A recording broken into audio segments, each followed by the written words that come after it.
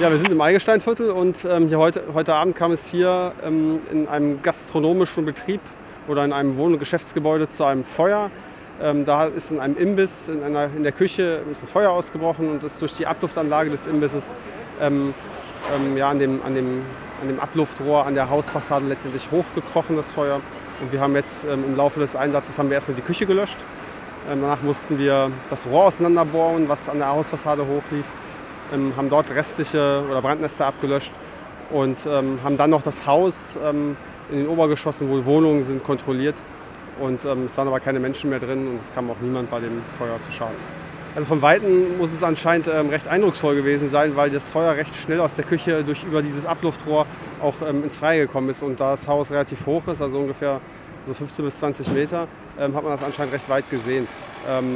Aber als ähm, das Feuer letztendlich unten gelöscht worden ist in der Küche, was relativ schnell der Fall war, ähm, wurde dem Feuer auch so ein bisschen der Nährboden entzogen und wir hatten das relativ schnell im Griff. Zunächst, als bei der Meldung, konnten wir das nicht ausschließen. Genau. Wir sind davon ausgegangen, dass auch ähm, sich eventuell Personen in, der Wohnung, in den Wohnungen sich befinden und wir wussten am Anfang nicht, ähm, ob die Wohnungen nicht auch betroffen sind. Insofern war es wichtig, das Feuer schnell, schnellstmöglich zu löschen und die Wohnung zu kontrollieren. Da laufen noch Nachlöscharbeiten, also das Lüftungsrohr ist über Dach geführt. Da oben sitzt ein Abluftventilator und die mussten die ganze Verkleidung abnehmen.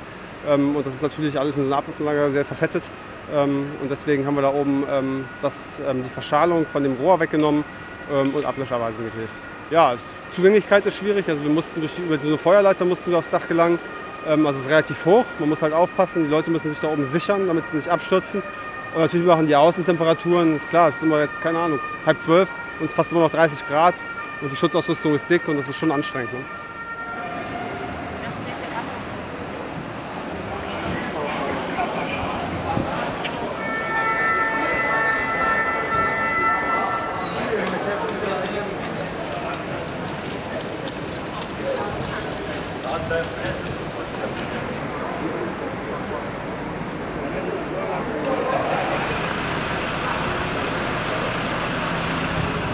die nummeriert?